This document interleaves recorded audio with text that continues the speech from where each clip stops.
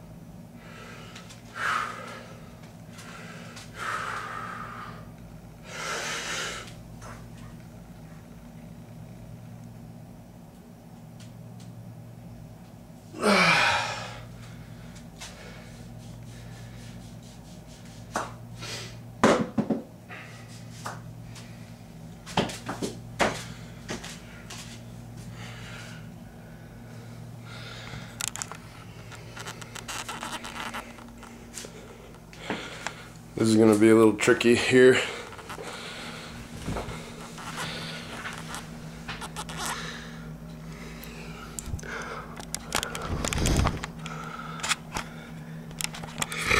I don't have a damn protractor.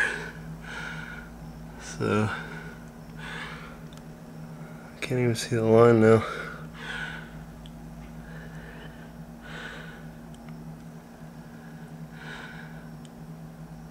There's 40 on that side, but hell.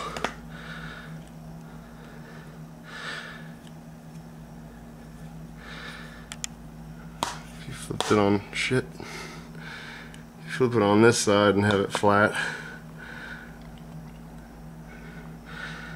It's like 70. I got a scratch to my computer. Thanks.